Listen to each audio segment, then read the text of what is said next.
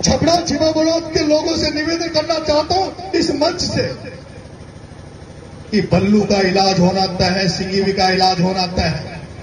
मुझे टिकट मिलेगा तो भी, नहीं मिलेगा तो भी, चुनाव लड़ूँगा तो भी, नहीं लड़ूँगा तो भी। पर प्रताप सिंह सिंघवी आज के बाद किसी को जेल नहीं भेजेगा।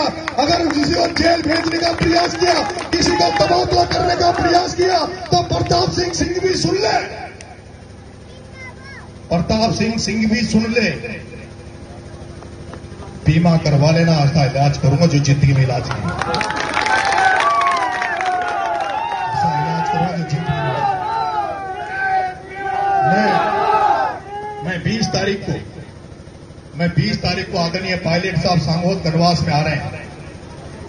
और टिकट मांगने के लिए, और मेरे नेता सचिन जी पायलट साहब को मज़बूत करने के लिए मैं हज़ारों की संख्या में अपने पंप गौघाट से कनवास के लिए रवाना होंगे।